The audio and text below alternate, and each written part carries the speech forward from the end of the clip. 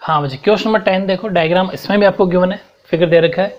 Radius of semi circle is सात centimetre यानी कि जो आपका ये जो अर्धवर्त है ना, ये, इसकी जो त्रिज्या वो सात दे रखी है। और आपको जो निकालना है अर्धवर्त बने वृत्त का क्षेत्र, यानी कि जो find the area of circle formed in semi circle जो इसके अंदर जो वृत्त बना हुआ ना, ये, इसका एरिया बताना है आपको। एक बात समझो बच्चे ये इसकी रेडियस है, किसकी? इस बाहर वाले अर्धवर्त की सेमी सर्कल की। ये सात है ना तो ये भी तो रेडियस ही है। इस छोटे वाले को मत देखो। इस बड़े वाले की तो त्रिज्या ही हुई है ये बड़े वाले की तो रेडियस है, लेकिन छोटे वाले के लिए ये कितनी है? ये डायमीटर है, व्यास है। छोटे वाले के जो सर्कल है अंदर सर्कल की तो सर्कल का तो ये व्यास है, डायमीटर है, लेकिन इस सेमी सर्कल के लिए तो ये भी रेडियस और ये भी रेडियस मतलब ये भी सात है। यहाँ से लेके यहाँ तक। बस यही तो समझना है। देखो, पहले ये समझो, क्या गिवन है हमें?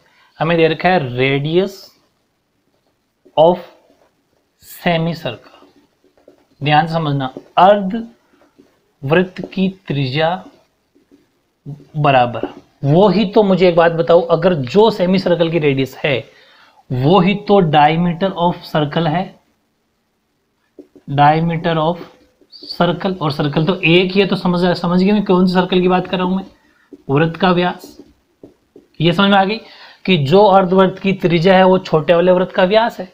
इसका मतलब डायमीटर है, और वो है, इसका मतलब ये भी सात है। लेकिन हमें क्या चाहिए? रेडियस क्योंकि जो अंदर सर्कल बना हुआ, वृत्त जो बना हुआ है, उसका एरिया होता है पाई आर स्क्वायर हमें आर चाहिए तो आर इससे आ जाएगा। तो लिख देंगे अपन रेडियस ऑफ़ सर्कल वृत्त का व्यास। समझ पा रहे हो? सॉरी वो वृत्त की त्रिज्या। त्रिज्या को बोलते हैं आर और वो हो गई सात बटे दो, यानी कि रेडियस कितना हो गया? Seven point two centimetre. किसका? सर्कल का। हमें चाहिए area of circle area of circle यानी कि वृत्त का क्षेत्रफल। फॉर्मूला क्या होता है? पाई आर स्क्वायर पाई जब तक ना कहीं, बाईस बटे सात रखेंगे तो twenty two point seven into R seven point two into seven point two क्योंकि आर स्क्वायर तो दो बार। इससे ही कट गया ये दो, ग्यारह बार। इलेवन सेवन जा सेवेंटी सेवन, सतहत्तर बटे दो। पॉइंट में निकाल दो। टू थ्री जा सिक्स, दो तीन छः बच गया एक, दो अट्ठे सोलह, टू एट सिक्सटीन, बच गया टू फाइव जा टेन। अड़तीस पॉइंट पाँच सेंटीमीटर स्क्वायर आपका किसका एरिया हो जाएगा? अंदर वाले सर्कल का, अंदर वाले वृत्त का। ठीक है? तो ये सिंपल सा क्वेश्चन था, क्वेश्चन नंबर टेन। हाँ बच्चे, क्वेश्चन नंबर इलेवन ऑप्शन का देख के आप इसको हल्के मत लेना वेरी इंपॉर्टेंट क्वेश्चन है। इसको अच्छे समझोगे तब जाके आंसर आएगा। पढ़ो इस तरीके से आपको ये क्यों कहना चाह रहा है कि एक आपके पास क्या है कि आर वन व आर टू त्रिज्यों वाले दो वृत्तों की परिधियों का योग आर है। यानी कि दो सर्कल है the sum of circumference of two circles of radius R one R two is equal to the वो बराबर किसके हैं? वो बराबर हैं आर त्रिज्या वाले वृत्त की परिधि यानी कि कैपिटल आर देखो, उनमें तो दोनों रेडियस क्या है? आर वन और आर टू और जो बराबर हैं तीसरा वो हैं कैपिटल आर वाले त्रिज्या के तो आपको चार ऑप्शन दे रखे हैं। इन ऑप्शन के अकॉर्डिंग कौन सा ऑप्शन सही होगा? देखो बच्चे, कहने का मतलब ये है कि आपके पास तीन रेडियस हैं। देखो सोल्यूशन समझने से पहले समझो। उसने कहा, हमें गिवन क्या है? कि जो दो सर्कल का सरकमफ्रेंस है, ठीक है? Sum of circumference, circumferences of two circles equals to circumference of a circle. ये ध्यान रखना, ठीक है? हिंदी वाले बच्चे, दो वृत्तों की परिधियों का योग बराबर एक वृत्त की परिधि। बहुत इंपॉर्टेंट बात है ये। अब आप ये सोच रहे होंगे, जब दो वृत्तों की परिधियाँ और एक वृत्त की परिधि यानी कि इसके दो सरकमरेंस दो तो रेडियस इसकी हो गई एक रेडियस इसकी हो गई तो देखो, हमें दे रखा है रेडियस ऑफ़ फ़र्स्ट सर्कल पहले वृत्त की त्रिज्या R one radius of second circle दूसरे वृत्त की त्रिज्या आर टू और इसको अपन जो एक सर्कल इसको मान लेते हैं तीसरा सर्कल देखो, ये पहला और दूसरा दो तो ये वो तीसरा। तो रेडियस ऑफ़ थर्ड सर्कल तीसरे वृत्त की त्रिज्या आर थ्री नहीं है ओनली आर है। ये तीन बातें हमें क्वेश्चन में दी हुई है, ये स्टार्टिंग में आपको लिखना है, उसके बाद ये लिखना है। समझ में आ गई? अब आओ इधर। सरकमफ्रेंस यानी कि परिधि का फॉर्मूला क्या होता है? Two pi R. Plus two pi R. बराबर भी टू पाई आर। समझ पा रहे हो? क्योंकि तीनों की परिधियाँ सरकमफ्रेंस का फॉर्मूला तो यही होता है। लेकिन अब वैल्यू पुट करवानी है। टू पाई, पहले की आर, यानी कि पहले की त्रिज्या R one plus two pi दूसरे की त्रिज्या आर टू बराबर टू पाई तीसरे की त्रिज्या ओनली कैपिटल आर समझ गए?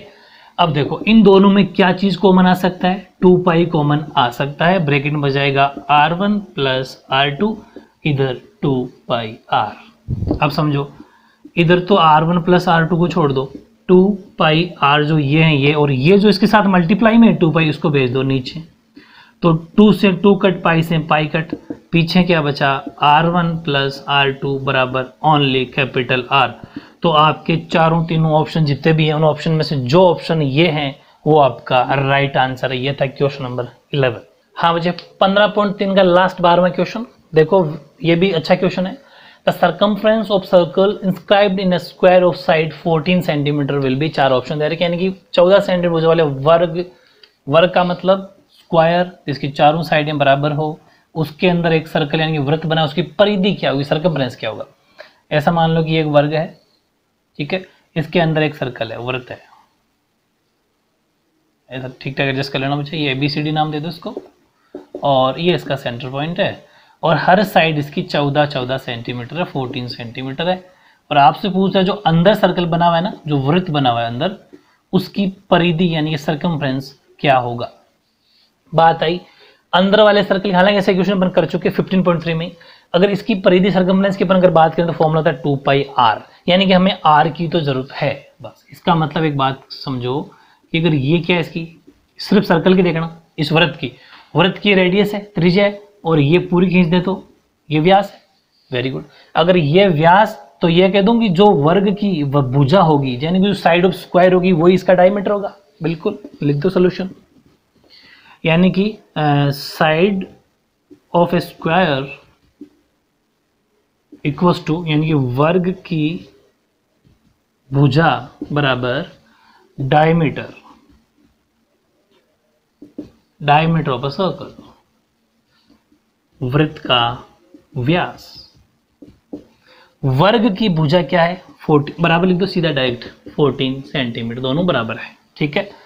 लेकिन हमें वृत्त का व्यास नहीं चाहिए, वृत्त की त्रिज्या चाहिए रेडियस चाहिए। तो लिख देंगे रेडियस ऑफ़ सर्कल यानी कि वृत्त की त्रिज्या, जिसको अपन आर से देखा देखो, हम बच्चे ऑप्शन वाले को भी स्टेटमेंट और डायग्राम के साथ करवाता हूँ, बहुत ज़रूरी है। किसी भी क्वेश्चन को आप हल्के मत लिया करो, ये भी क्वेश्चन की फॉर्म में आ सकता है। तो रेडियस ऑफ़ सर्कल कितनी हो जाएगी? फोर्टीन अपॉइंट टू यानी कि सात सेंटीमीटर रेडियस आ गया। अब कोई दिक्कत नहीं, अब अपन लिखा देंगे सरकमफ्रेंस तो सरकमफ्रेंस ऑफ़ सर्कल यानी कि वृत्त की परिधि। फॉर्मूला क्या होता है? टू पाई आर इसके बाद अपन यहाँ कर लेते हैं। टू का टू पाई की जगह बाईस बटे सात ट्वेंटी टू पॉइंट सेवन और आर अभी भी निकाला था, सात। सात से सात कट गया तो बाईस दूना चवालीस, यानी कि फोर्टी फोर सेंटीमीटर स्क्वायर, यानी ओनली सेंटीमीटर आएगा, क्योंकि ये तो परिधि है सरकमफ्रेंस स्क्वायर नहीं लेता।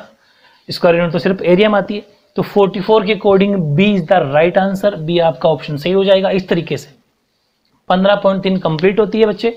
लेकिन मेरी बात सुनना एग्ज़ाम्पल करेंगे, इसके बाद आप एग्ज़ाम्पल को बहुत हल्के में लेते हो, सारे एग्ज़ाम्पल पढ़ा करो एग्ज़ाम्पल में बहुत बड़े बड़े क्वेश्चन है। मिसनालिस करेंगे, जो इसकी विविध है, वो करेंगे। सारी एक्सरसाइज करने के बाद तैयारी माना करो, अब जाके हमारा चैप्टर पूरा हुआ है, ठीक है ना? सारे वीडियोस देखते रहना प्लेलिस्ट में जाके वीडियो देखा करो। प्लेलिस्ट में जाने से क्या होगा कि हर चैप्टर के सारे वीडियोस आपको अलग अलग मिल जाएँगे। अपने चैनल में सीबीएसई आरबीएसई अलग अलग है तो आप आरबीएसई वाले बच्चे आरबीएसई देख के पढ़ लिया करो सीबीएसई वाले सीबीएसई देख के पढ़ लिया करो, ठीक है? तो इस तरीके से अपना फिफ्टीन चैप्टर एक्सरसाइज वन पंद्रह पॉइंट एक दो तीन कंप्लीट होती है, ठीक है? मिलते हैं नए वीडियो के साथ, जब तक आप पढ़ते रहो best of luck take care